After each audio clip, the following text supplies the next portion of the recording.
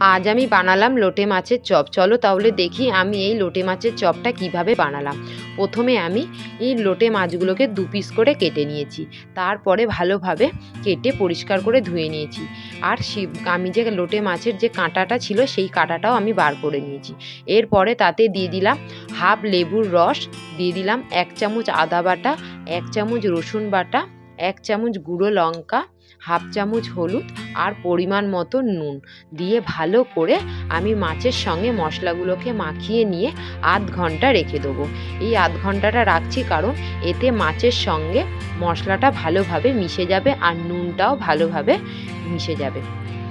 এরপর একটা বাটি নিয়েছি, বাটির মধ্যে পরিমাণ মতন বেসন নিয়েছি আর নিলাম হাফ চামচ খাবার সোডা, পরিমাণ মতো নুন হাফ চামচ গুঁড়ো লঙ্কা দিয়ে ভালোভাবে চামচ দিয়ে আগে মিশিয়ে নিচ্ছি।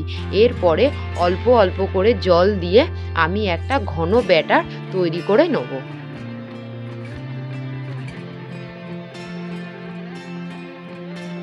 দেখো, এখানে আমার বেসনের ব্যাটারটা সুন্দরভাবে তৈরি করা হয়ে গেছে।